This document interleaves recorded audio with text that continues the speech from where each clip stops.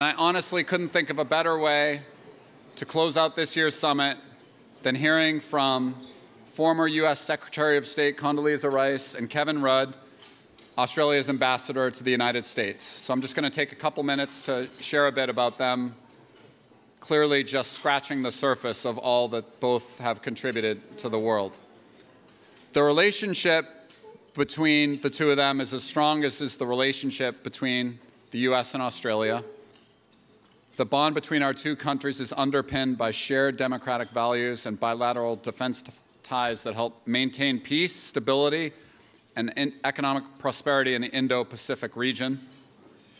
The U.S.-Australia Free Trade Agreement that went into effect almost 20 years ago has strengthened that bond. Just last year, total U.S. goods and services trade with Australia totaled $77 billion, and our foreign direct investment in Australia was $177 billion that year. Economically, there are strong, very strong ties between the U.S. and Australia. The first treaty signed between our countries established the Fulbright program in 1949. Since then, thousands of scholars have received Fulbright scholarships, so it seems very fitting to have these two coming together at Stanford, one of the world's top universities. Condoleezza Rice has been a part of SIEPR's community for many years, long before I arrived and I'm always so incredibly appreciative when she accepts my invitations to speak at our summit. She's the Tad and Diane Taube Director of the Hoover Institution and a Senior Fellow on Public Policy, the Denning Professor in Global Business and the Economy at the Stanford Graduate School of Business.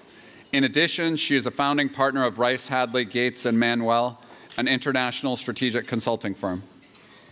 From January 2005 to January 2009, she served as the 66th U.S. Secretary of State, making her the second woman and first black woman to hold the post.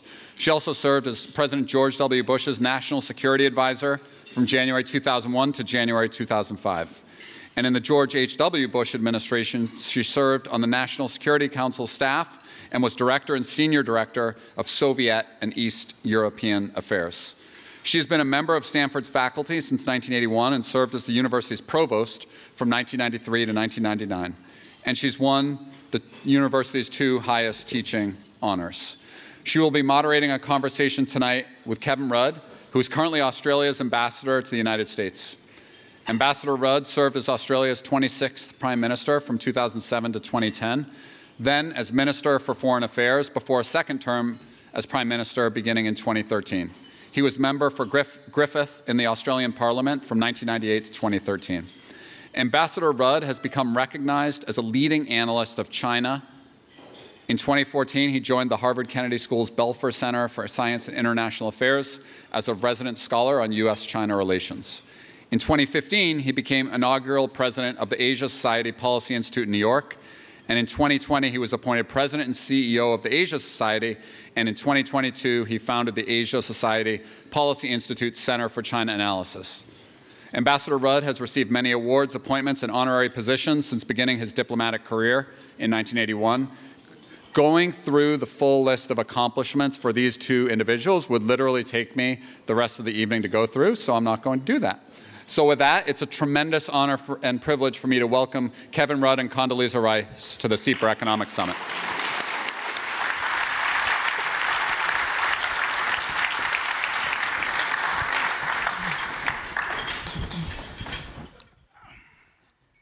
Well, good evening. Um, I'm sure you've had a great uh, time here at the SIEPR Economics uh, Summit. This is really one of the premier events uh, for, for Stanford uh, and I think for the economics profession. And I'd just like to take a moment to congratulate Mark uh, on his leadership and uh, the entire SIEPR community. So if you would join me in doing that.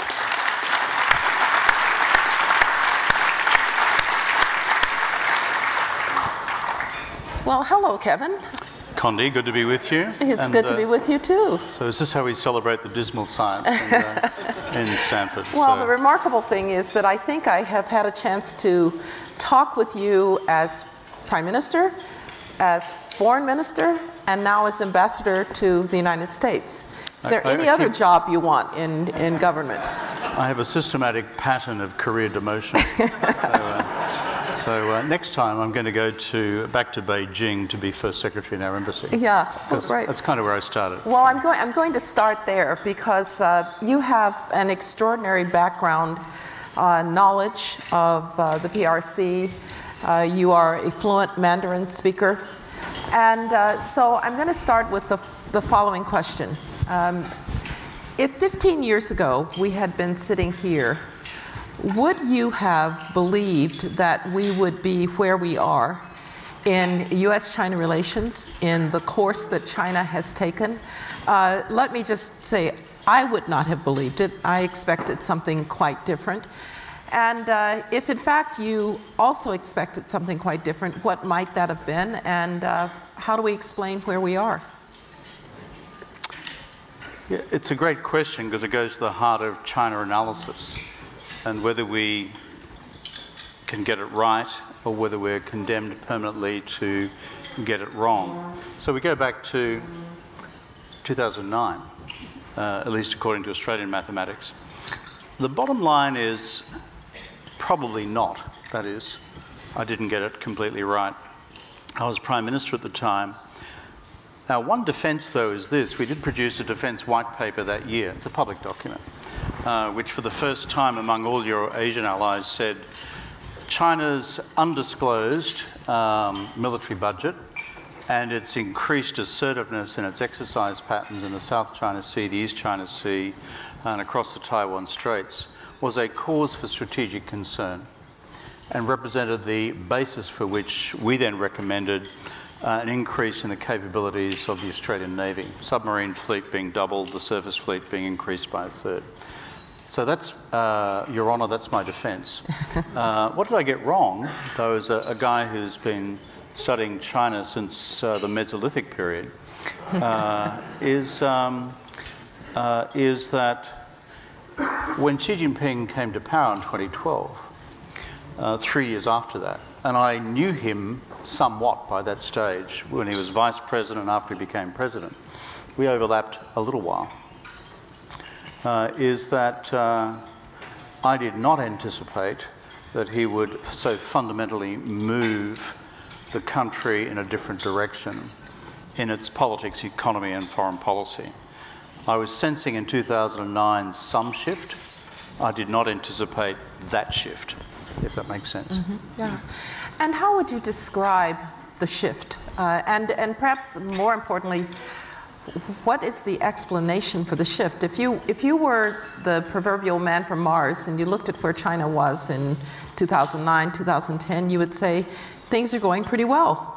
Uh, people believe that you're a great bet for foreign uh, direct investment. Uh, you have produced golden children in uh, companies like uh, Tencent and, and uh, Alibaba. Not too long after that, you would actually dominate the market for startups in online education it was, if, if not the strategic or the national security people who were starting to get a little suspicious of you, uh, certainly the CEO narrative was that uh, China was a great place. Uh, it might be a little difficult, maybe there were some IP issues, but it was a great place to do business. So if you're China, you're doing very well in 2009, 2010. Why change course? I think that's a very fundamental question. Um, and we're a room full of economists tonight, so you all believe in rational economic man and rational economic woman. Okay. Um, I've been in politics for a while. I believe less in rational economic man and rational economic woman. Um, and dare I say it in this gathering, you don't have to spend too much long and uh, too much of a length of time in China to discover that the political economists have something to say. Um, so, what do I mean by that? Deng was not a dummy. Deng Xiaoping, uh, when he took power after Mao's death in, uh, by 78, established a whole new orthodoxy for the country. And still, while justified within the wide framework of Marxism Leninism, said that at this stage of uh, China's uh, economic history and economic development, consistent with Marxist theory, our challenge is to unleash the forces of production, the factors of production, uh, and relegate the relations of production as Marxists would describe it, that is, class. because we needed to take people out of poverty and increase the economic power of the nation. So that became the orthodoxy for 35 years. Remember what Deng said, doesn't matter if a mouse, a cat is uh, black or white, so long as it catches mice. That was kind of his view of Marxism and capitalism, frankly. So what changed? Um, when Xi Jinping uh, came to power in 2012, 2013, there's a fascinating speech of his which gets leaked from the middle of 13 to the Central Ideology and Propaganda Work Conference. Not a conference of funsters, by the way. um, um, these are people whose essentially lack of sense of humour. Uh, and the, uh, we're on the record here, aren't we? Yes, yeah. yes. they don't have much of a sense of humour. but it's quite interesting when you look at this speech because uh, very rarely do you get stuff leaked out of the, uh, out of the central system. It's a very watertight show. Um, and what it says is, this is my parsing of it, uh, is that I, Xi Jinping, have seen the future. I've seen where the Deng Xiaoping, Jiang Zemin, Hu Jintao tra trajectory is going to take us. I see the rise of a um, private entrepreneurial class, which now represents more than 60% of GDP. I see the rising levels of uh, individual uh, freedom of expression. Uh, I see Hu Jintao's model for a more contestable polity, which he used as a term, the reform of the political system. It's a phrase which they used. And, said, and I don't like that future because mm-hmm. I'm a Marxist-Leninist. Em emphasize not the adjective but the, but the noun. I'm a Leninist. And what he could see in the future was because of the processes of economic development, which we all know through here in international development theory, you get to $12,000 US per capita income. There's a whole bunch of case studies out there in the world where people then say, rising middle classes, aspirations for greater and wider sense, uh, senses and realities of freedom, and then eventually change occurs. Look at the ROK, uh, look at Taiwan itself, look at other countries, look at Indonesia, yeah. for example. So he actually saw the future and said, no. Mm-hmm. And so, at a level of politics, he actually then began to correct, from his perspective, the ideology of the country. And this, uh, if I was to give it the three sentence haiku, uh, it was uh, one, I'm turning politics towards the Leninist left, I'm turning the economy towards the Marxist left, and I'm turning foreign policy towards a nationalist and more assertive right. The latter being to consolidate the legitimacy of the party, as well as express what he then saw was the accumulated power of the Chinese state to begin to change the international status quo. So I think he saw the future, mm -hmm. said, no, that's going to lead to the death of the party and lead to the death of the party's control. I'm not going to allow that to happen.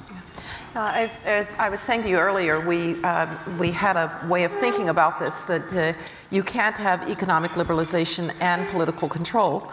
And the uh, belief was, of course, economic liberalization would win out. And what you're saying is he came to power and said, Thank you very much, I'll take political control.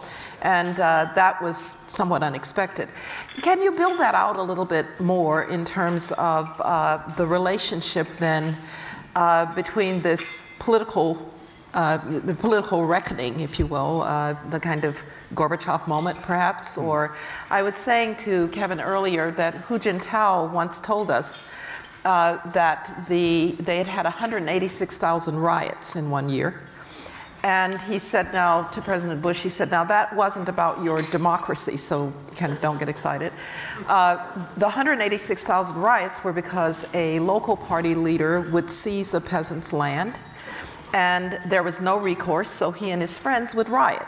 So what we need are courts he said, that could be trusted. Pretty soon you're starting to create something that looks more like an independent judiciary. So you can see how this might have played out from uh, Xi Jinping's point of view. But obviously, by going this route, um, it began to, to shut off some of the valve of the oil that was bringing economic growth and economic possibility to China. So, do you think he reconciles that, or he simply says uh, it's worth the price? Does he think he can have it both ways? I think initially, um, Condi, he does. Uh, it's quite interesting if you look at the historical evolution of the turn after 2012. What happens first between 2012 and 2017, between the 18th and the 19th party congresses, uh, was you can see the clear evidence of a turn to the left on politics. Yeah. Uh, for example, your encounter with him with President Bush. What did he do in that period? He basically said, uh, We've had enough of constitutionalism, we've had enough of separation of powers, thank you very much. Uh, we've had enough of this independent judiciary. We've had enough of, and he went on to say in this speech I referred to before in middle of 13, enough of NGOs. okay? Uh, and uh, the party rules all. In fact, there's a great phrase he used. He rehabilitated it from Mao. It doesn't matter whether we're talking about north, south, east, or west, whether we're talking about uh, the, um, the government, the military, the academy, uh, commerce, uh, or uh, he has one other phrase as well, which has just escaped my mind. But he said, the party rules in all. So that's a fairly unequivocal statement. Um, but you know what's really interesting? Through 12 and to 15, and even it drifting into 17, he leaves essentially the market economic reform program largely intact because he thought he could get away with this duality, which is I'm going to clamp back down on politics, but I'll let these guys who claim to know what the economy is all about continue to roll. This was under Premier Li Keqiang, who, those of you who knew him or knew of him, uh, tragically passed away only in the last several months. But then when you get to a couple of events, in particular, uh, their own domestic financial crisis in 2015. Those of you who followed Chinese financial markets will remember it. When Xi Jinping becomes um, enraged that you have massive stock market volatility requiring massive interventions by the Chinese state, which did not succeed, to protect the equity and investments of a whole bunch of working people. And it became clear to those of us in the analytical community that he said, whatever you guys think you were doing on the economy in terms of managing this market, it's not delivering for me politically. Mm. Roll the clock on two years, and then he has the experience of President Trump um, and says, uh, in response to this new age of strategic competition, uh, I, Xi Jinping, am going to have to become much more nationally self reliant. So between 15 and 17, you see the dial change on the economy as well. Leninism had been brought back, but the rehabilitation of Marxism in terms of core economic policy settings, you see in that 15 to 17 period and dramatically demonstrated in the 19th Party Congress of that year. Mm-hmm. So I think that's the evolution of it. Yeah. So now, fast forward to today, you have uh, slowing growth, high unemployment, particularly among youth, uh, a demographic disaster. Uh, I was reading that uh, demographers have seen nothing like the inversion uh, that is happening in Chinese demography save in wartime. And so uh, you have this, this problem. Real estate bubble, we could go on and on and on. Uh, foreign direct investment uh, dropping. Uh, does Xi Jinping have the ability, or he has the ability, but does he have the foresight? Does he wish to make a uh, change in course at this point? Or is ideology, as you've described it, um, and fear of what this would mean for the party, is it such a constraint on his imagination that he can't make a course correction? My analysis is reading what he generates in the party's internal ideological discourse. Because remember, the Communist Party has to talk to itself, and it does so partly in policy terms, partly in political terms, but fundamentally in ideological terms. Because Marxism Leninism is the coin of the realm. That's the dialect within which messages are communicated about change or continuity. So when I look at um, uh, his language, what he essentially is saying to the party at home and to the rest of us abroad is that uh, I'm not done. I know this is a trade off, and I'm confident on my side of the trade off. Mm. That is, that yes, growth will be interrupted uh, as it's historically been experienced, but it is far more important that the paramount power and control of the party is preserved because it's this party which took us from the shambles of national dissolution in the pre 49 period, where we were so weak that we were taken over by a bunch of foreigners. Then the Japanese invasion occurred. Uh, and then by the time we get to 49, there's not much left. And we built this modern China through one agency, the agency of a Leninist party. So I, Xi Jinping, am not going to allow this to go. So I think he actually understands that there is an economic trade off. But his response is a curious one in terms of, therefore, what the new economic script is. It's a response which basically says, uh, let's forget about the demand side of the economy. Let's forget about things like consumer confidence. Let's forget about things like uh, private uh, uh domestic consumption. Uh, let's instead focus on what we do on the supply side. And I, Xi Jinping, bringing in this new range of what he describes as the new productive forces of an industrial policy driven by high technology. Uh, and that is his attempt at a, from the commanding heights, if you're familiar with the ancient sort of Marxist uh, conceptualization of, well, you know this from the Soviet yes. Union. Uh, here's this marvelous phrase, which is top level command. Yeah. And so ding tong shi ji, these four character phrases, which I find remarkable in the 21st century. That I'm going to do this through industrial policy with technology at the core. This will unleash new factors and forces of production which will charge us forward into a brighter economic future. Yeah. And how's it going on not, the technology Not entirely front? well. um, as General Custer said, I think, uh, at Little Bighorn, there have been finer moments in the history of the 5th Cavalry. and so, uh, in other words, not entirely well. Yeah.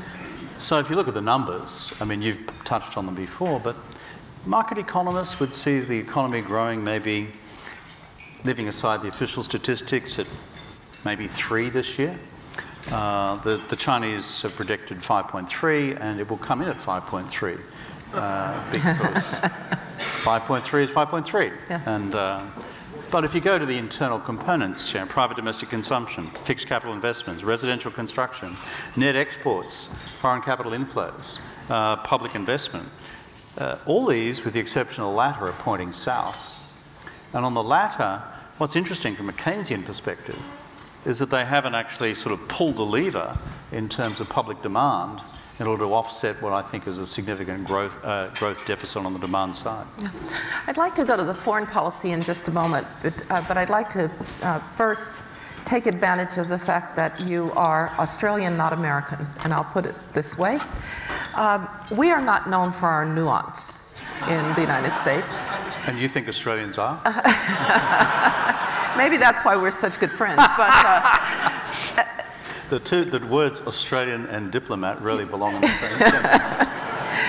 But if you think about it, um, six years ago, 70 years ago, uh, it was the decline of the West, the rise of the East. Uh, China was on the march.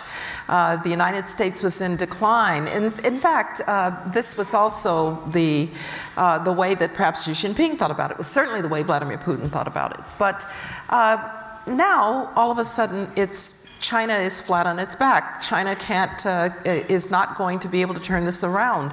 China is in decline. Uh, what have we missed that might be an explanation someplace in between those two extremes? Look, I love my American friends dearly, but the, uh, occasionally you don't quite see things objectively. No. By, by which I mean, there seem to be two schools of thought in the United States of America about China. China is either 10 foot tall yeah. or it's two foot tall, right. depending on the season. It's either it's going gangbusters, there's no problems, they're going to take over the world, uh, the economy will overtake the United States by next Christmas, etc., etc., etc. Or peak China, it's going down the gurgle, it's gone, uh, nothing will save it. Uh, my view is a bit different to that. You guys are six foot two, the Chinese are five nine, and I'm not sure how much taller they'll get, but they're still growing. And so that, I think, is a more realistic geopolitical, geoeconomic, geostrategic analysis of where the, what the Chinese describe in their own language as the balance of power mm -hmm. in their own Surely, You know, Shirley, uh, uh, uh, B. And so I think, uh, Dui And I think the, the important thing for us to consider is right now, the Chinese economy, for the reasons we touched on before, in 24 will generate modest growth. There is deflation, uh, significant deflation, over three quarters now. Net capital outflows for the first time in 25 years in the fourth quarter last year. These are remarkable uh, facts. But never underestimate the power of the Chinese consumer if they regain a level of confidence. I cannot construct carefully uh, or scientifically how consumer confidence is restored, but savings are, are at an unprecedented high because people are concerned about how do they manage the risk of unemployment either for themselves or for their kids, how do they manage uh, a range of other challenges in their lives, including the loss of asset investments in the property sector. But I think we should not, I would, all, I would urge analytical caution about assuming that this is therefore somehow mystically in terminal decline. Uh, keep our eyes focused on what happens with the Chinese consumer. And I, I am just open on that question. Right now, the settings are poor but we should be very careful before reaching any fundamental analysis, yeah. analytical conclusions. And what, what is your assessment uh, on the technology front of um, how well the substitution strategy will be, technology as the driver? We know, for instance, that the uh, effort to do a kind of indigenous um, high uh, quality chip uh, seems not to have gone very well. Um, there are, we are kind of decoupling. We are decoupling. I know the administration wants to call it de-risking, but the fact is we're decoupling in technology. American venture capitalists are fleeing because they're being told by the US government that both outbound and inbound investment uh, is uh, un American and unpatriotic. And so, uh, how do you see China's technological future? There was a moment in time when they were going to dominate us in AI. And then something came uh, along called generative AI, which it's very difficult for them to do without high-end chips. So can you set, level set for us the technology front? And then I'd like to, to take on foreign policy and then I'm going to turn to the audience. So uh, if you have questions, please get them ready. And if you don't, I am a professor. I'll call on someone. So, Kevin. That's terrifying. yeah. I think um, Look, there are people in this audience who are far brighter than me on uh, nanometers, chips, and the rest, but I read the general literature on this subject. The Chinese industrial policy approach is pretty simple. Uh, what you can't obtain qualitatively, we will seek to secure quantitatively, which is uh, we'll throw $100 billion of activity at a given chip, uh, and when you say to them, uh, hey, you're going to waste most of that, they say, we know. We're assuming a 5 or 10% return. And to be fair to the Chinese system, depending on which level of reportage you believe about where Huawei has gone with its most recent chip innovation, there are some evidences of moderate success. So their view is you're right, it's not de risking, it is heading in the direction of decoupling. And Xi Jinping's uh, doctrinal conclusion about that, as we embarked upon uh, through the United States leadership a strategy of uh, strategic competition uh, was we, China, under Xi Jinping's leadership, will now pursue a policy of national self-reliance. Uh, and that has gone from the margins of the economic commentary to the centre. And secondly, if you try to deconstruct this odd phrase which they use to describe the current orthodoxy called the dual circulation economy, what does that mean? It means we are primarily being, going to be dependent on the great internal circulation. What does that mean? Domestic production, domestic consumption.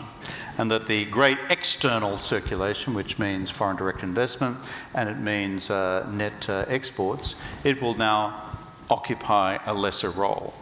So conceptually and in policy terms, that's the direction in which they've sought to go. And then in terms of the success ratio, their view is it's harder, Uh, but as the doors have been shut, whether it's a small garden with a high fence or a big garden with an even higher fence, uh, we, we, the Chinese system, have concluded that's where the US is going, and we're going to throw the kitchen sink. Do you have that expression in? Uh, yes. Thank yes. you. I always have to check my Australian English uh, at this thing, and if we get a 10% success rate out of a trillion dollars worth of investment, which, by the way, if you combine their respective industrial funds, it's not much short of a trillion dollars worth of uh, being thrown at these uh, high technology mm-hmm. categories, then we in the Chinese system think we could still get there. Mm-hmm. Uh, turning to foreign policy, maybe through uh, the chip and a company called TSMC, which exists in a place that some would consider vulnerable. Um, how should we think about uh, Taiwan? And uh, we I thought, are. I thought you meant Vermont. well, Arizona, but, uh, okay. uh, but other than that, no. Um, I, I want you to talk a little bit about Taiwan. I'm not going to ask you what are you telling your government. That would be unfair. But I am going to ask you what would you tell our government about Taiwan when we have one.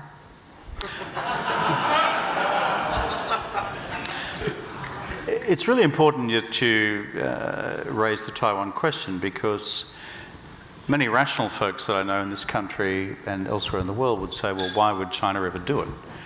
Uh, that is, use unilateral military force to regain uh, sovereignty over Taiwan.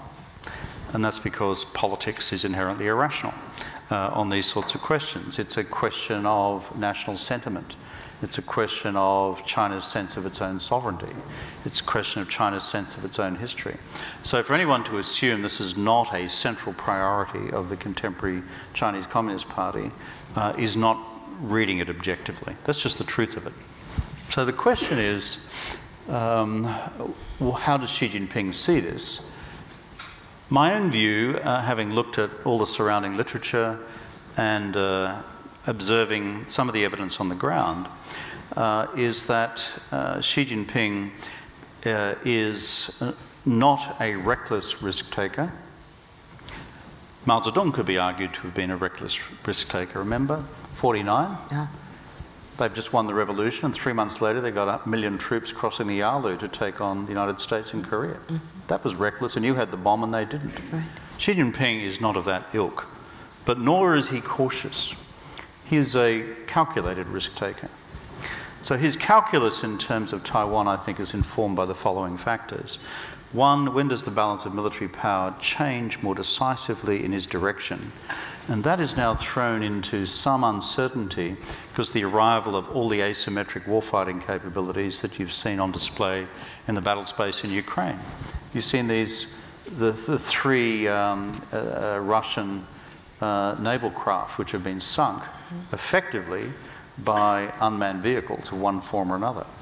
I mean, this would make a very disconcerting long play video in the PLA uh, or in the Central Military Commission. Uh, so, this is a refined calculus. My judgment is uh, that their view is that this balance of military power is not there for them at this stage. But they still have a view that that is moving over time in their direction. The second factor is their calculation of American political will. Mm-hmm. I mean, that's just the hard question. Um, whether it's under a Democrat administration or a Republican administration, depending on who wins in November.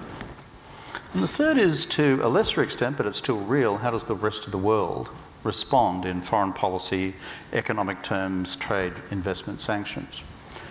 So, in their calculus, I don't see evidence at this stage that any time short of 2027 that they would think that these things would begin to align. Um, and then when you've got to throw in the age factor of Xi Jinping. He's 71 years old. Uh, five years' time, he's 76. And then by the time you get to the 22nd Party Congress, he's about 80. And so. Spring chicken in terms of our politics. Sorry. Anyway. Zip. The, the, the, um, and so therefore you start to put two sets of variables together, which is his age and his desire to, frankly, not just replicate Mao, to, but to exceed Mao by finally achieving the national reunification, which has eluded the CCP since 49. Against, however, there's still the tempering factors of the military balance of power and the other ingredients of what we would call integrated deterrence. So for me, what am I concerned about? I'm not really concerned about here to 27. I am more concerned about 27 to 32. Mm-hmm. And I, that's not f- by way of me being interpreted as saying, therefore, it's going to happen in 27. That's just uh, reckless. What I am seeing, though, is that the, the analysis gets much sharper at that time, and possibly in some years following, but not a whole lot of years following. Uh, so it's still enough to keep us all up at night. And we, if, uh, if that's correct, we have some time. And so, how should we think about what we're doing vis a vis Taiwan? For instance, uh, there are those who say we should be, uh, we should abandon strategic ambiguity. Uh, we should make very clear to the train we've come very close. But how do you think about our preparation, and I say our because uh, Australia is an important ally in the Indo Pacific, how do you think about using the time that we have if, in fact, uh, there's some kind of denouement after 2027? I think there are two sets of things that we need to focus on. One is what I describe as using the opportunity to build or rebuild, to the extent possible, a number of guardrails around the uh, China-US relationship so that we reduce the risk of crisis, conflict and war by accident. Which is why it's good that the two presidents agreed in uh, San Francisco here at the Woodside Summit uh, in November to recommence mill-to-mill dialogue. Remains to be seen how substantive that has proven to be over the last three months. But the essential machinery is we should not through silence and non communication, tolerate the possibility of incident occurring, two planes crashing, uh, colliding and then crashing, and then nationalism takes over, no constraint mechanism, and you have escalation. Remember 1914. Um, the bigger question uh, is if that is about reducing the risk of war by accident, is how do we reduce the risk of war by design? And that is through the complex science of integrated deterrence. Um, I call it sort of the Xi Jinping shaving mirror test, which is I'm sitting at Zhongnanhai, I'm having a shave every morning, and I'm looking in the mirror and I'm asking myself this question is it still too risky today? And the test of deterrence is to have that answer come back and say, yeah, I think it's still too risky. And so that is a responsibility for all of us against the various component parts of the deterrence equation, including, critically, political will. Yeah. Do you think that the um, I'll, I'll, call it, uh, Xi Jinping probably thinks, it of, thinks of it as uh, the containment alliance. Hmm. But of course, we don't contain. Uh, we're simply trying to create circumstances in which deterrence uh, is, is strong. Uh, is it as strong as it looks? Australia, the United States, Japan, uh, even South Korea, to a certain extent, even in India, maybe even Philippines, Vietnam, it looks like a quite formidable block of nations that uh, reacting both to wolf warrior diplomacy of a little bit earlier, uh, to some of the activity that China has engaged in uh, in the South China Sea and beyond. Uh, it looks like a pretty strong uh, alliance, uh, loosely, not, not formal. Uh, do you think it's as strong as it looks, or how, sh how should we think about it?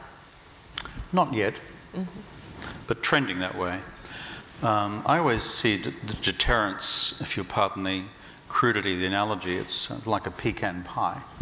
Um, so we don't have them in Australia, but I gather you like them here in America. uh, and most of them are round, is yes, that right? That's okay. correct. And so half of that pecan pie is a very clear military calculus by the Central Military Commission of force on force, unit on unit, capability on capability across a Taiwan Strait scenario and sub scenarios of what would happen if the balloon went up.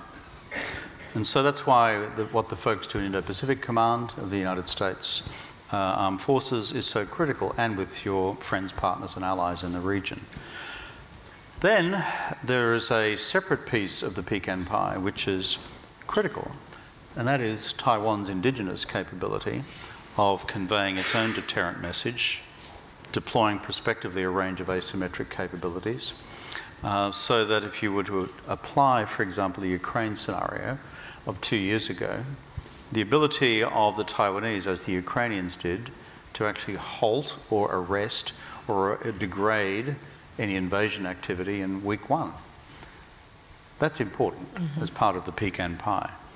And then there's another part of the pecan pie which is about political will here and on the part of allies. And the last part of the pecan pie is what the rest of the world does. And that is, would China suffer such fundamental damage to its economy and to its foreign policy standing in the world that what they'd inherit would be uh, not exactly the unblemished mantle of global mm-hmm. leadership. Mm-hmm. So I actually see it in those, those terms where each of us has this role to play. Is it there right now against the constituent elements? No, much building still has to be mm-hmm. done. Uh, but it's a dynamic business, and so there is no perfect science to this. Um, but what I'm impressed by with the administration is that the best minds in the administration are working on the machinery of this. And it's conceptually understood and it's based on a very realist understanding of how the folks in Beijing look at the same equation. Mm-hmm. And you know from your own vast experience dealing with the Soviet Union that um, you know, the Sovs were not known for their sense of humour. Okay?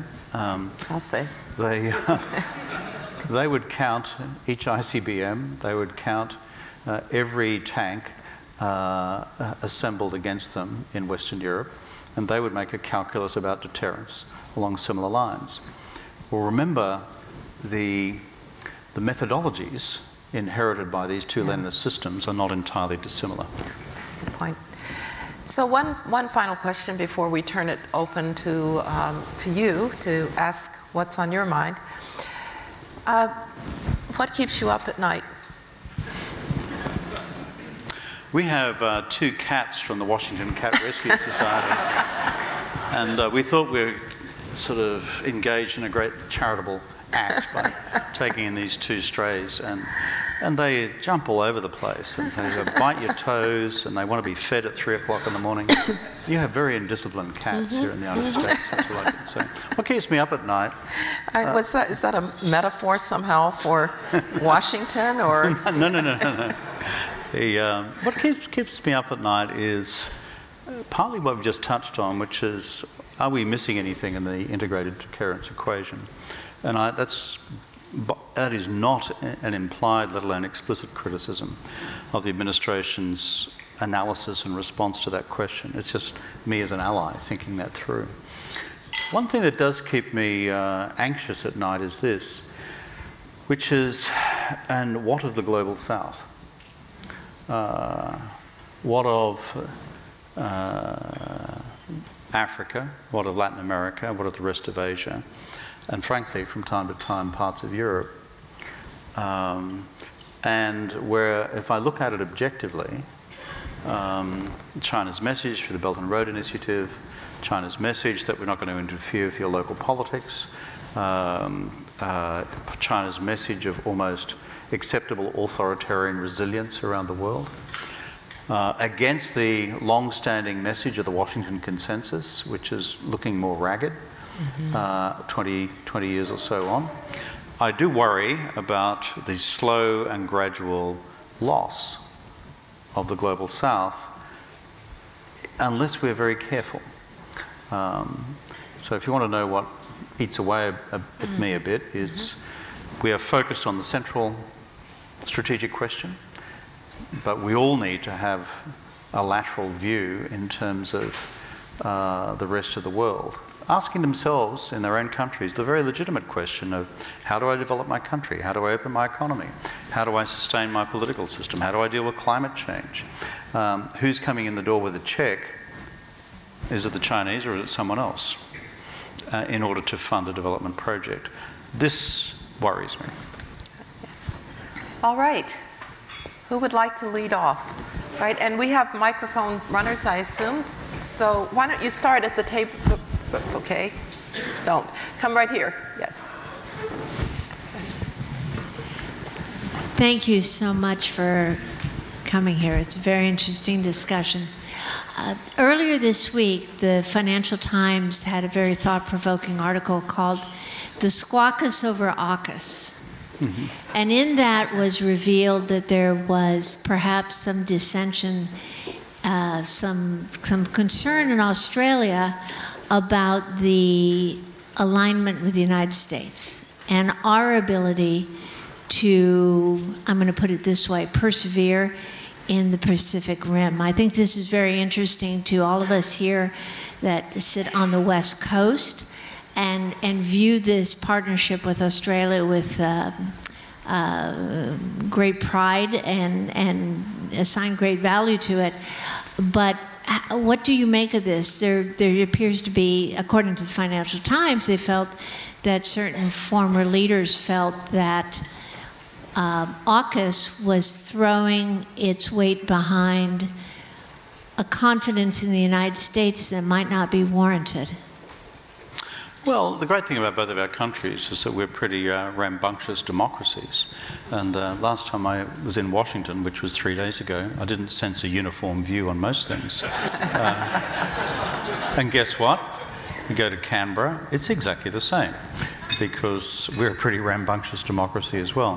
What I can report to you, though, is that if you look at all the public opinion polls surveying in Australia, uh, the United States would have 70 to 80% popular support, AUKUS 60 to 70, 75% popular support.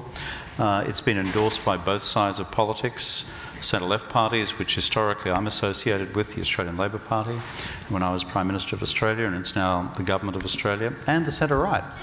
So uh, I think of all your engagements with allies around the world, this is on pretty solid ground. And I think the, because we see it in all of its dimensions as good for Australian national security, because we're in a volatile part of the world. But we also have the view, and I think our United States colleagues have the same view, it's good for the United States. Um, take, for example, the question of nuclear powered submarines. At present, you have facilities to build these uh, boats which are highly sophisticated, highly lethal, a core element of uh, deterrent capabilities. You have them being made at present at Groton in Connecticut and Newport News in Virginia, and the Brits do the same up somewhere in Scotland. Um, last time I looked, none of those three locations were in the Indo Pacific. Um, but that may be just our atlases and not yours. Um, so, uh, so guess what? Uh, we're going to be building these things in Adelaide in South Australia, and you're going to have this huge uh, uh, ship repair facility and maintenance and home porting in Western Australia, in the middle of the Indo-Pacific. So that, together with the additional capabilities that we'll have to throw at this, I think makes it good for the United States as well. So we see there's a mutuality in the interest, and I think that's reflected in the body politic. Australians are a pretty practical mob, you know. And the other thing is they've got a bit of a memory. And uh, next time you go to Canberra, uh, and I assume you all will next weekend. The, uh, it's just over that way a bit. yeah, it's and, a lovely place. And down. Yeah, that's right. The, uh, anyway, I won't go there. The, uh, my views of Canberra. Anyway, the, um, um, in the middle of our Defence Department buildings, our equivalent of the Pentagon, there's this huge tower, huge tower, which could, I don't know how tall it is. And at the top of it, there's an American eagle. Okay, it's called the American War Memorial. It is in the middle of our defence facility, in the middle of Canberra, the capital of Australia. That thing was built after 1945 by public subscription because of the World War II. Australians have a memory, you know, about the ties that bind. Thank you for your insightful comments. If you could choose the top five countries that you would bring together as an alliance to counterbalance China across rare earths, e economics, Taiwan, who would they be? And not just necessarily the likely people like the United States, but you mentioned who would be in the global south, who in the continent of Africa, who in Europe, and maybe it's not any of those, but who would be those top five countries you bring together? Um, I'm mindful I'm just an Australian ambassador, okay? it's not for me to tell other countries what they should do, or, sh uh, let alone the United States, uh, what it may, may do as the uh, leader of the free world. But as I observe things in the world, um, what I see is uh, a whole bunch of countries uh, who are seeking to carve out uh, different futures for themselves, other than that, which is necessarily compatible with what Xi Jinping is outlining uh, for his country's future, or for his proposed reform and change of the international system under Chinese leadership. I mean, I read this stuff, it's there in the Chinese literature. So, obviously, uh, if you look at, uh, at India, it's fairly clear where India under Modi uh, wishes to go. Uh, you don't have to be a Rhodes Scholar to work out that uh, Japan has its own um, view. Uh, beyond that, I think it's important to look at the future of countries like the Republic of Indonesia, uh, which has challenging um, uh, uh, development opportunities for the future, but one which is looking for long term and sustained economic opportunities with this country through market access as well. And then beyond that, if I was to look at, um, uh, at Africa, there are democracies like uh, Nigeria, uh, which have um, a view of their own future, uh, which doesn't necessarily fit in with a, uh, a particular view. And in Latin America, the Western Hemisphere, uh, one better known to you rather than to us, there are a range of countries from Chile to Argentina uh, through to uh, even um, uh, President Lula's uh, Brazil uh, and, uh, and Mexico, which will have different views. The key point in all of this is, is as follows. Sometimes in the United States, you can get the impression that the United States sees the future of alliance structures as being purely about security and defence. The truth is, if you are a leader in a democratic country, in any of the continents I've just referred to, you're responsible not just for physical security, you're responsible for economic security as well. And therefore, that brings us back to the question about whether markets are opened or closed, and whether there is opportunity for friends, partners, and democratic allies of the United States to have a share of a common economic future. Now, this is a hard question in domestic politics in America, whether you're a Republican or a Democrat seeking to survive a primary or to get yourself elected to the House or to the Senate. I get that. I mean, I'm a politician, I'm a former Prime Minister. These things are hard.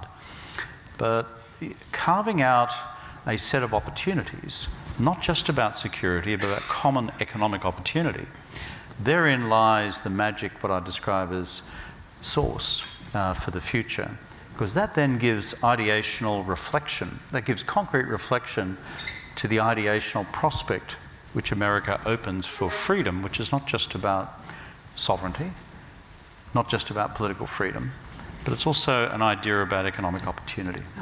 And uh, after World War II, the United States had a commons in terms of security, but also an economic commons, and that is missing, it seems, from the discussion well, now. I think for all of us, look, it's, it's, this is not me being preachy to the administration or to any side of politics, but when I look around the world, the, the big question which many in the global south will say, uh, our Chinese friends are here, they have a Belt and Road Initiative, uh, and they're seeking to build X, Y, and Z and A, B, and C. And where are you? meaning the West. I'm not just pointing at America on this. Yeah. So there's a question here uh, for the future uh, to go to the underpinnings of simply a list of countries. Yeah. I saw one uh, last question over here. Yes. Uh, thank you all for being here. Thank you, Mark, for this outstanding day. Um, I've heard the Silk Road Initiative has not been maybe as profitable as hoped, and uh, and with economic challenges, maybe more difficult to uh, pursue. And uh, this is a wild card here too, but I wonder if Wagner Group, is, I don't know what you call them, a horsehair shirt initiative, but uh, you know something. Are they a factor? Uh, so I, am really interested in the Silk Road Initiative prospects, and are there other influences that are disruptive to that? Yeah, but oh, sorry, sorry, yes, it was a little bit, but Belt and Road uh, in some trouble. Um, trillion and a half dollars spent on Belt and Road. Is it getting what it was? And then along the Silk Road, how do we think right, about okay. yes? Sorry about that. I um, didn't quite pick it up. Um, look, I think um, I go back to sometimes the um, phenomenon I see in America, which is China's 10 foot tall or 2 foot tall. Uh, Belt and Road Initiative about to conquer all or it's dead. Um, you know, can I just suggest reality is sometimes a little more nuanced than the above. Um, the truth is, and you could see the evidence of this emerging from as uh, 18 and 19, that the original $3 trillion initiative, depending on how you calculate it, was being scaled back. But it's still continuing, mm-hmm. and it's still part of the central Chinese foreign policy orthodoxy. Xi Jinping, for example, convened the Foreign Affairs uh, Work Conference at the party's centre uh, on the 30th of December, so two months ago. These things are only held every five years. It's when the party elite gets together to determine what's the future foreign policy and security policy course for the country, and it's couched often in ideological generalities. Uh, the internal speech would be fun to get hold of, but we don't have a copy of the internal speech. Uh, and there, it's quite plain that China's continuing project in the Global South uh, is through the medium of the Belt and Road Initiative. It also talks uh, much more broadly about other grand foreign policy proposals for the future of the international system. What Xi Jinping calls a community of common destiny for all humankind. The Global Civilization Initiative, the Global Development Initiative, the Global Security Initiative. You strip it all back, what's it mean? It actually means, and this is a really important point, maybe to conclude on ideology.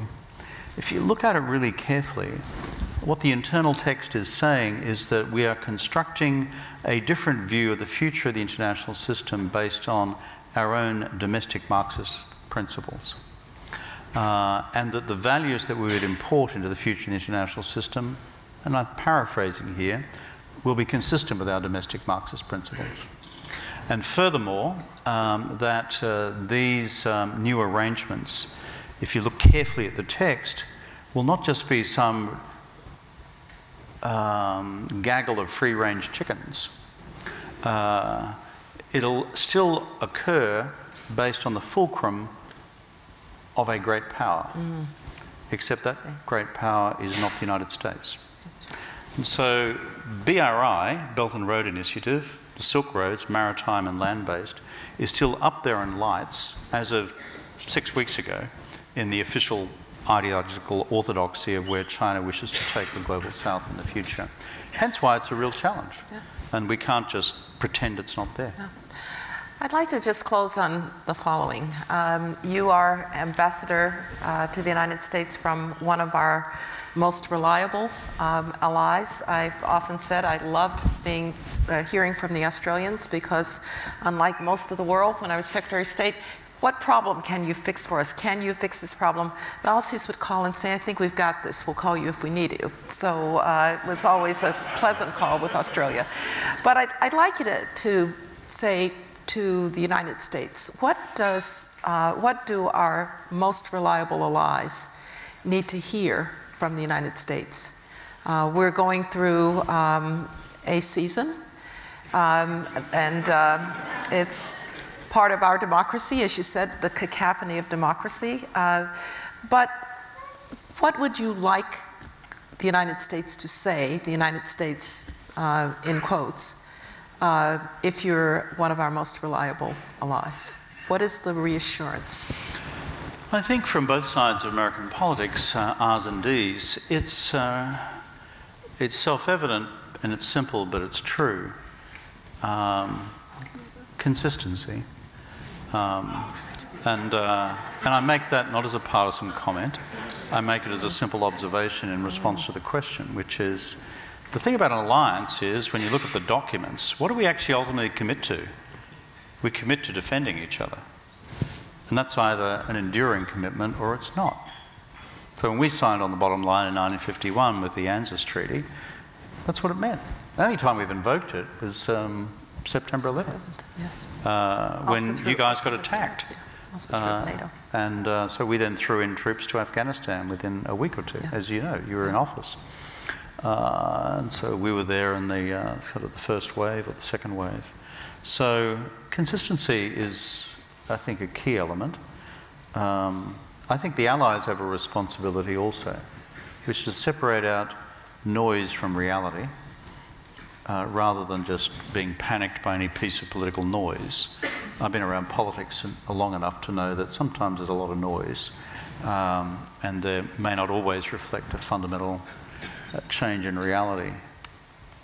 And I think the last one is this. Um, when, and I say this just as a sinologist. You know, I'm, none of my remarks tonight are as representing my country, by the way. I'm just here as uh, a China guy try, trying to add to the conversation. Um, is uh, it's really important for America to once again uh, lift the eyes of the world um, uh, in a sustained fashion, both sides of the aisle, with an enduring vision for what the future has for us all. Global North, Global South. Um, and, uh, you know, in times past, you've described it in your own literature as a light on the hill. Uh, you know, Winthrop was not a fool. Um, and so there is something in the narrative uh, which is always in need of continuing uh, refresh. Um, and I think whoever forms government after, um, after uh, November, uh, that's a challenge uh, for all of us because I do see the emergence of an alternative narrative and one which is being effectively and skillfully communicated, particularly across the global south, deploying all the algorithms that we're familiar with and multiple means of media down to sub-localities. So careful about the narrative, clear about the narrative, and its communication to multiple audiences. See, after 45, you folks did that. I mean, the world's in a mess at 45. But you know something?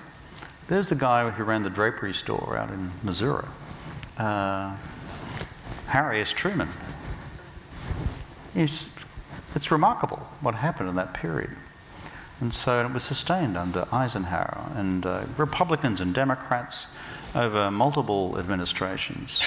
So sustaining the bipartisanship, sustaining the consistency, but also sustaining and refreshing the narrative for the world.